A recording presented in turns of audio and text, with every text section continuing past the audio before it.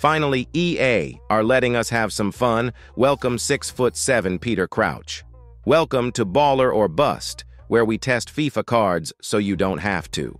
Of course, 95 overall with no 5-star 5-star, typical EA.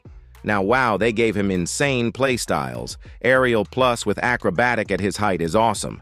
Not to mention how broken finesse shot is. If you need coins, go to U7Buy, use code ZADE for 6% off. This is the fun type of card that we needed during Futties. He's massive and is the ultimate target man.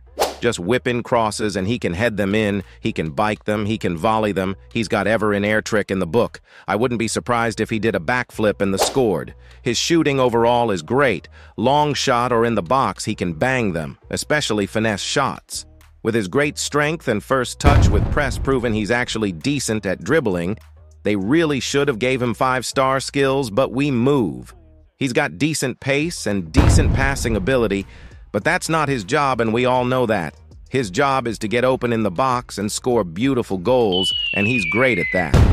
A very fun card, 100% worth completing at just 40k,